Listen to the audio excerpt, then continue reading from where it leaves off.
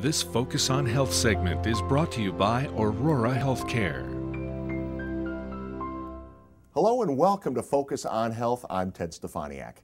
Today we're at the Aurora Health Center in Oshkosh and we're standing just outside the neurology department because May is Stroke Awareness Month and that's today's Focus on Health.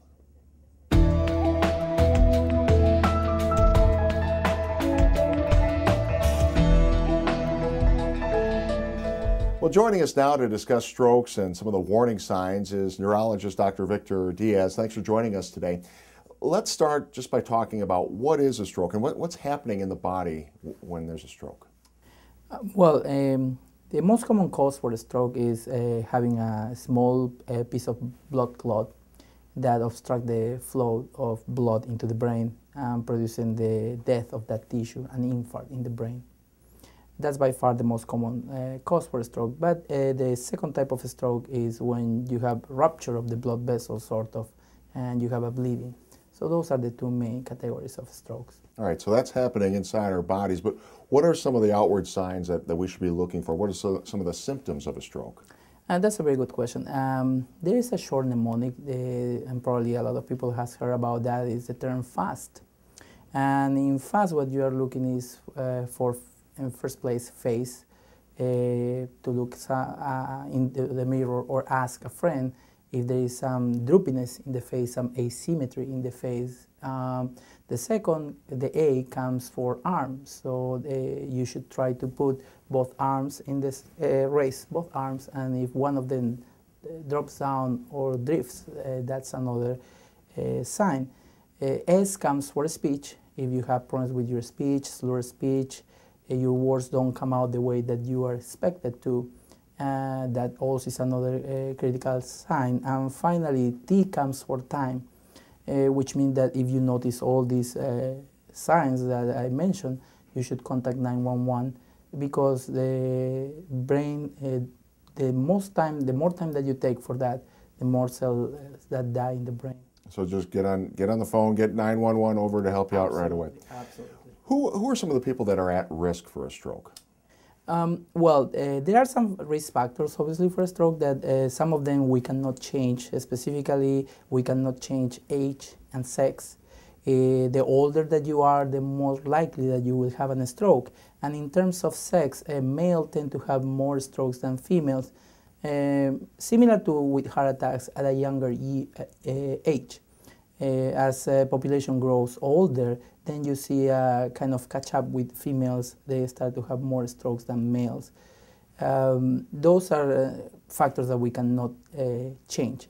Other factors uh, or things that make you likely to, to develop a stroke are uh, also the same risk factors for cardiac disease, high blood pressure, diabetes, cholesterol, one that is always overlooked and is extremely important because probably is the easiest and most preventable risk factor for stroke is smoking and also excessive alcohol consumption, uh, which is always uh, important to, to bring to the attention of our patients. Are, are there some tests then? You talked about the cholesterol and some other things. Are, are there some tests that can show if we're at risk for a stroke? Absolutely. Uh, every time that you go for your general checkup, uh, your general well-being uh, um, evaluation by your primary doctor, uh, typically you will get checked for your cholesterol levels, if you have signs or if you are developing diabetes, uh, to check your blood pressure if you need uh, to control that, and uh, mostly uh, also lifestyle changes, uh, keeping yourself active,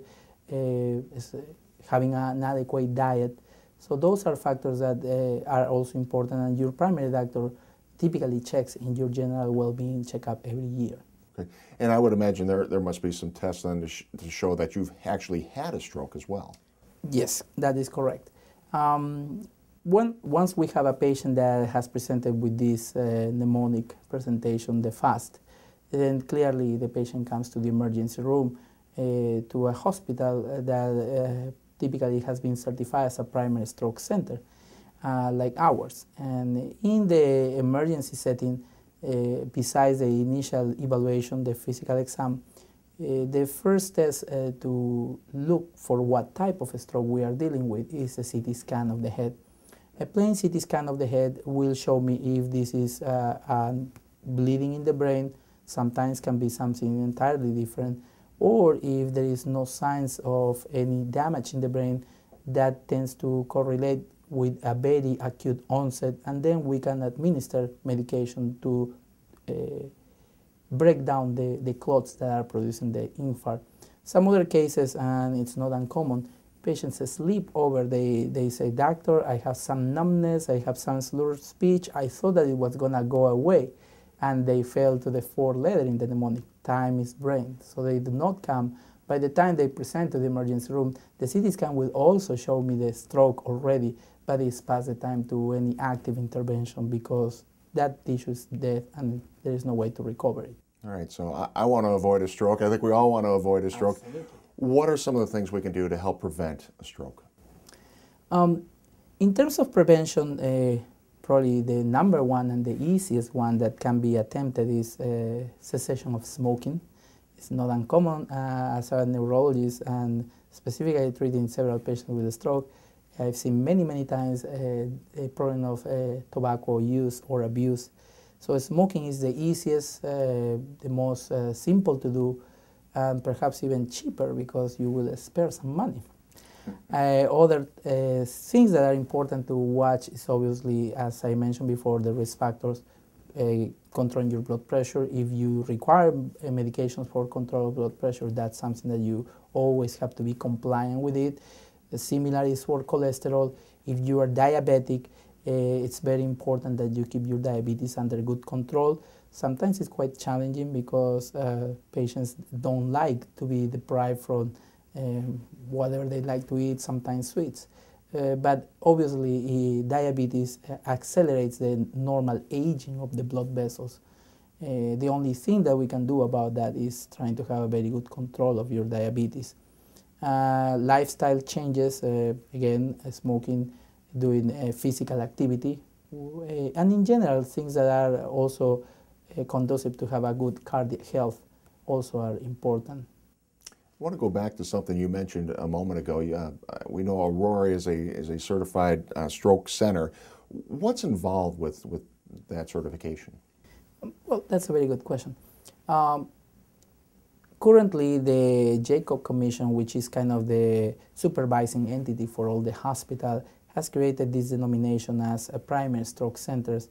This uh, certification of status for certain hospitals, uh, if they meet the criteria and they have the expertise and the personnel uh, adequate to deal with an emergency such as a stroke, uh, they have to have the adequate technology, CT scan, MRIs, 24-7.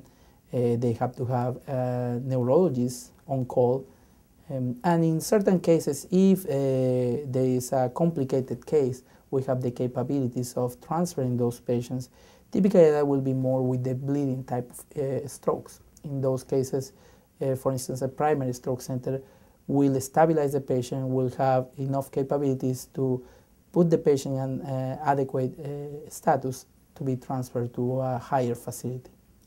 If, uh, if a person is fortunate enough to survive a stroke, Eh, does that person then have a greater chance of having a stroke again? Yes and no. Uh, yes, in terms that a patient once uh, you present a stroke, you it's uh, unlikely to present a second one after something recent. Uh, a stroke indeed is a marker of a more diffuse problem, which is what we call peripheral vascular disease, uh, typically related to buildup of plaque in the blood vessels, what we call atherosclerotic disease.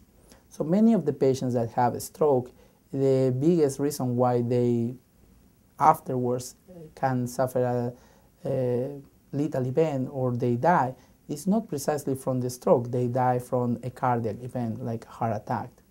So every time that you have a patient that has had a stroke, besides uh, making sure that you address the risk factors for stroke, the second important thing to look after is how is the status of their heart because the heart is what uh, most of the time ends up killing the patient, not the prior stroke. All right. Well, Dr. Diaz, we appreciate you taking some time today on Focus on Health. Thank you so much.